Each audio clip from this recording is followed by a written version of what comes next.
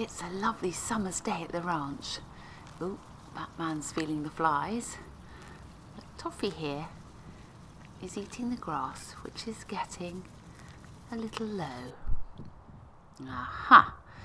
Now there's some grandma's footsteps going on here. Samson and Caramel have spotted that Andrew is about to move the fence to give them some more grass. Watch out, Andrew.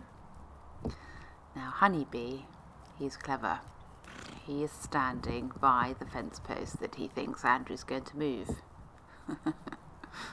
yep, you're right, Honeybee. Oh dear, Andrew, be careful. Charge. Oh, here comes Ted, throwing his weight around.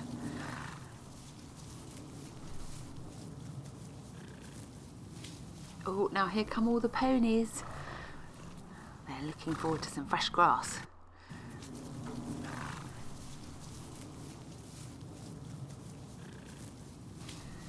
Now, each day during the summer, we give them a little bit more fresh grass. Not too much.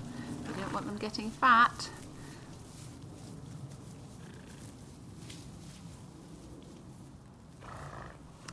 Here comes Muffin.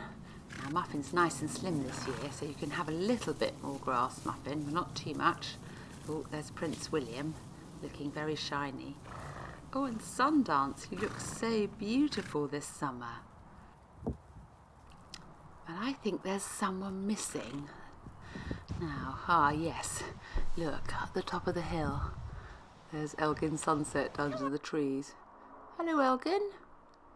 Didn't you see? Everybody else is down on the fresh grass. Come on, come and join them.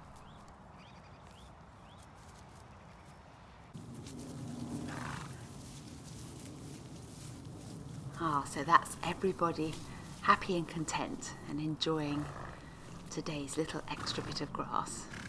Now Andrew's got one more job to do and that is to put the little electric fencer back on and that will stop the ponies from bursting through the fence.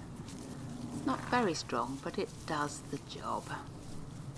So, steady on, Dinky. Don't eat too much, you'll go off pop.